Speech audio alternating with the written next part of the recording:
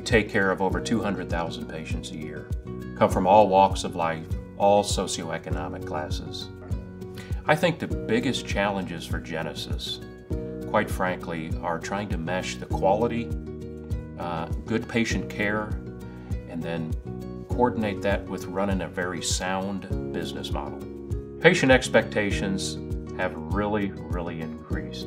Patients want to be seen, patients want to be communicated with, and patients want to be educated so that they can be part of their healthcare process.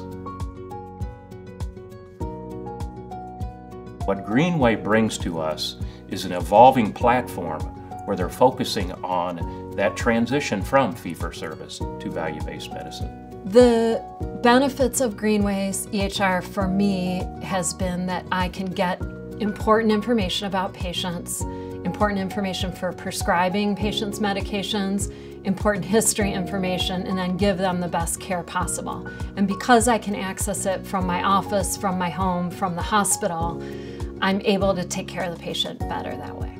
We use Greenway in every aspect of the organization, from check-in to check-out. Our investment in Greenway Health is a testament to the fact that it's the backbone of our organization. There isn't an employee that does not interact with Greenway Health on a daily basis.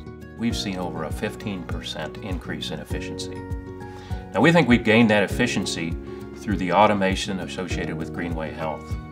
One of the focuses that Genesis has really put a lot of emphasis on has been employee training. We've dedicated training facilities, we've de dedicated training staff. Genesis emphasis on employee training really has helped, uh, and one of the things that we really look at is employee turnover.